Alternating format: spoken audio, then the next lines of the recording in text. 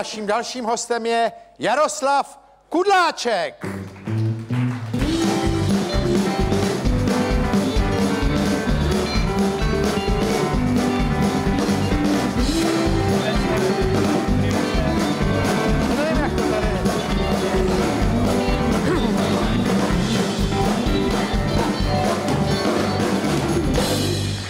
Děkujeme, Dane. Děkuju. To se nám tu dlouho nestalo, ale my pana Kudláčka zásadně zveme, aby to dovyplnil ten pořad. Vy jste, pane Kudláčku, byl rekordman v kterém roce 2000? Okolo roku 2000, no, ono Okolo to, roku 2000, v čem? no to bylo takový zvláštní. My jsme se nechtěli nechat zvážit, protože to bylo pro mě takový divný jako rekordman ve váze. No, ve váze, Takže jo. ne, ne, ne, to byl právě obvod, nejširší obvod těla. Vy jste v roce 2000, 2000 měl 186 cm kolem pasu. kolem pasu. A ten vývoj od té doby? No ne, krize, jak to šlo dolů asi, No, ne? no, no, přesně. Všecko jde dolů. Jako ve své podstatě já jsem za celý život zhubnul kolem asi 800 kg. Jako vy si to sčítáte. Sčítám samozřejmě. No a dosáhl jste teda kolika tun? No to taky hodně- sčítáte, ne? Ne, ne, ne, to už se nesčítá. Hlavně jako tam je problém v tom, že to je ten klasický jojo efekt, že jo. Zhubnul jsem, byl jsem tlustý od malička, pak jsem prostě přibral, pak jsem se zakousnul do sebe, říkal jsem přece nejsem takovej, abych nedokázal zhubnout. Kvůli tomu jsem se pak oženil, protože jsem měl jenom 120 kg, že jo. Počkejte, vy jste se kvůli čemu oženil? No, protože jsem měl jenom 120 kg, tak jsem Tak se jste se jako nějak z té hladovky oženil, nebo co? No asi, mo, mo, možná to byl ten Jako důvod, vy jste no. se ženil v době, kdy jste byl nejhubenější. Dá se říct. Čili eh, to přisuzujete tomu stavu. Že jste byl takový lund v podstatě, Dá se říct, no určitě. Jako, že jste se oženil. Největší legrace je to, že pro spoustu lidí 120 kilový člověk je obr, že jo, nebo tlouštík, že jo, tohle. A pro mě to byla obrovská hubenost, že jo. No dobře, a, uh, a vy jste rozvedený? Ano. Ano. Čili pak jste šťastně přibral zřejmě. Pak jsem dojídal kašičky po dítěti a Jo? různě jsem Kolik máte dětí? Jednu dceru mám. Jednu dcera dojídal jste kašička, až jste se dostal no. zpátky. Dostal jsem se, no, eh, dokonce jsem se dostal na 220 kilo. Mm-hmm. Tam už to bylo fantastické. 220 protože- kilo? No, no, no. Tam je to výborný, protože tam si to ani neuvědomujete a tak jako pospáváte, je vám tak nějak všechno jedno. Jo, tohle je fotka, když mi bylo 10 let, tak to už jsem byl takový jako, No tak to já nebyl moc jiný, jako. jo. Ale já jsem se ženil asi v 75. No a e, pak vlastně e, byl tenhle ten extrém, jo, to jsem byl nejhubenější. To jsem, tomhle období. V tomhle období, to bylo kolem té týmí ženitby. Takže to jako samozřejmě vždycky bylo znát, tahle bylo třeba, když jsem chodil eh, do tanečních, no, tak takovýhle. A docela mě ty taneční bavily. Tam byla docela i legrace, že většina kluků měla třeba snouzy o e, partnerky, mm-hmm. tak ač to jsem, no tohle jsem třeba v době, kdy jsem se ženil, takhle jsem vypadal. A to je asi vaše paní teda. Jo, jo, jo, jo, jo, ano, ano. No. No, a, takhle jsem vypadal, když jsem měl těch 220 kg. Tady, Tady. teda se no snažím tak je vidět, že vhodným oblečením jste to zatlumil. Jako. Jo, jo.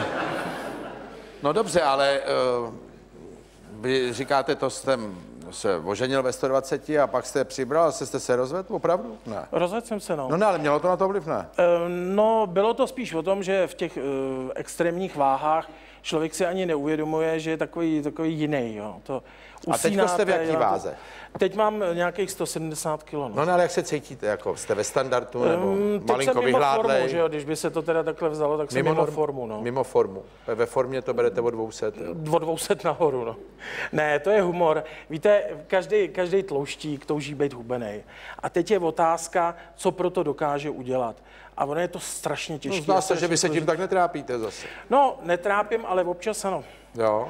Když mě začnou na obezitologii říkat, eh, pozor, cukrovka by mohla být a, a tohle a tamhle to, tak já se vždycky leknu a začnu se sebou hodem něco provádět. Například. Například nejíst. To je vy- vynikající dieta. Prosím vás, o to musí mít ještě dopad i v tom soukromí, že jo? Protože pak třeba, jako, pardon, co třeba partnerka, že jo? Partnerkám samozřejmě tenhle ten extrém vadí. To jako Jo. je, je hodně, ale kolem těch, já nevím, v- okolo těch 150, 170. Tam už je to dobrý, jo? No to, Čili jakmile se člověk dostane na těch 150, tak To je až moc dobrý pak. víte. Jo, takhle ono potom už jakože je podvyživené, jo. tady ne, ne. Hejte, to pak ty ženský na člověka letí až moc, víte. Prosím, a se vám stalo, jo? Jako Jo, čemu jo, říkáte moc? Jako? No ne, no tak samozřejmě z vašeho pohledu málo, že jo. Z pohledu normálního člověka Takhle, z pohledu 220 moc. moc. Dá se říct. Když jste na 150, Tak. na nejnižší váha, jakou jste dosáhl takhle v tom... To bylo asi Těch kolem té ženy, ženitby někde okolo těch 116 kg. To jsem měl nejméně.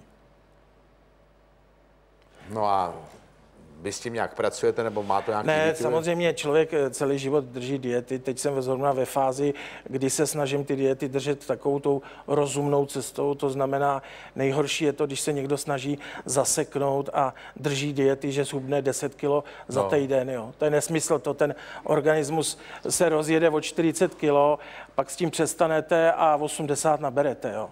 Čili takhle to nefunguje. Čili je optimální opravdu začít se pohybovat. Začal jsem jezdit na kole, proháním 20. kolo? Eh, To je dobrá otázka. Doopravdy pořádný. eh, Na zakázku. Ne, není na zakázku, ale dopro, doopravdy bytelný a říkali mi, že je to dědečkovský kolo, který si kupují bohatí Němci. Já jsem říkal, prosím vás, ale já mám český peníze, tak aby to nebylo No jo. jako pro... No, no tak my vám to trošku očesáme, my vám tam nedáme ty nápojový... A brzdy eh, ne, a tohle, tyhle ty takže, kraviny. takže výrazně mi ho zjednodušili a díky Jo. tomu teda mám bytelný kolo, na kterým teda můžu jezdit. No to musí být bytelný. No ono v některých věcech asi je problém s tou váhou, že se s tím nepočítá, ne? No tak to je ve spoustě situací. No, co se- třeba to je? No tak jako klasický je to eh, v těch extrémních váhách, takový ty židličky u těch cukráren a podobných věcí, že jo? Takový ty plastový, znáte to, sednete, rozjedou nožičky. Ale to je, to je ideální, protože Nebo to se je, přilepí a nemůžete jí servat, že? to, je, to je další extrém, ale tohle je ideální pro ty tlouštíky, který takovýto, takovéto cik- eh, cukrárny vlastně míjí, že jo? Ty Jo, tam jo. nesednou. Ano. Ne z toho důvodu, že by neměli chuť na ten onde větrníček, onde laskonku, jo, ale prostě na tuhle židli já si nemůžu sednout, jo. No tak ho sníte ve stoje, ne, větrní? O, to je divný. Já optimálně bych měl mít nějakých těch 120 kg, což ve vašich očích furt budu tlustej, že jo? Pochopitelně. To nevím, to bychom No, se museli podívat, že jo? Těžko, ale eh, čili pořád jako je to o tom, že od malička, když jsem byl tlustý, tak mně připadá nenormální být hubený. Já si to ani No, Ale vy nevíte, co představit. to je být hubený. No, ani si to nemůžu představit. Musí to být hrozný teda. Jo? Nevím. Jako už jenom taková, jak můžete být pro ženu opora, že jo? Co, Pozor. co, dělá, co dělá žena, když Počkejte, nemá jak vy jste byl pro ženu opora? No jenom když se postavím, tak o mě se ty ženy můžou opřít třeba z tři. Já vím, ale jako myslíte, že to je hlavní účel muže, aby se o ně žena mohla takhle opřít? Pojď sem, chci se- si nandat boty, ale... Se, zeptejte se ženy. To žena ví, proč No, inklinuje. moje žena o mě se opřít vůbec ale tak- nemůže. Vy jste taky světlá výjimka mezi hubenými muži, jo? No. Ale jako je to vždycky o tom... Já jsem v kategorii cvrčků. Jo, jo, jo. No.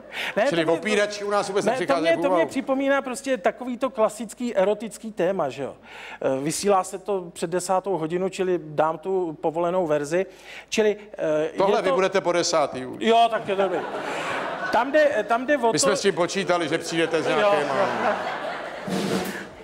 Tam jde o to, že eh, ta žena, když jde do, do postele s prominutím nebo k akci, takhle bych to řekl, Až eh, se takhle? štíhlým mužem, že jo, No. tak od něj čeká prostě, já nevím, Jak to víte? obrovský, no tak předpokládám to, že jo. No, to je Obrovský tradiční výkon. omyl tlouštíků to. Tak možná. No ne, tak očekává, očekává určitě zážitek, že jo. No a To ne, druhý den, druhý den jako říká, No a když jde s tlouštíkem, tak čeká oporu, jo? ne, ne, ne. Pozor.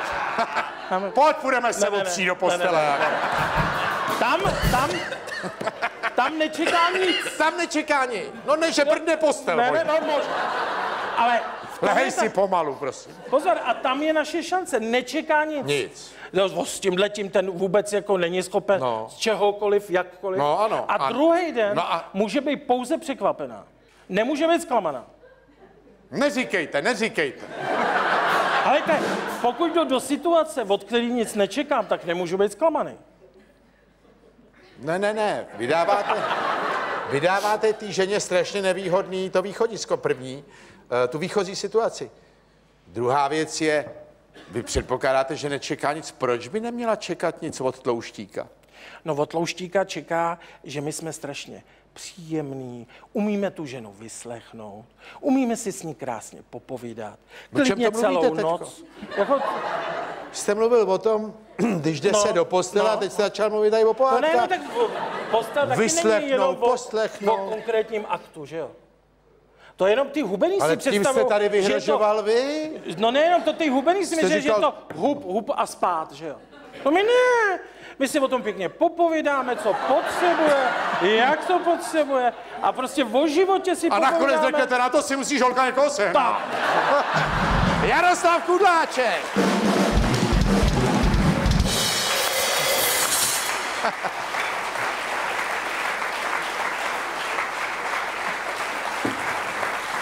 Dámy a pánové, já vám děkuji za pozornost, to je pro dnešek všechno a těším se s vámi za týden na schanou, buď tady v divadle Ponec, anebo u televizních obrazovek a pokud se budete dívat, bude to hodně prima.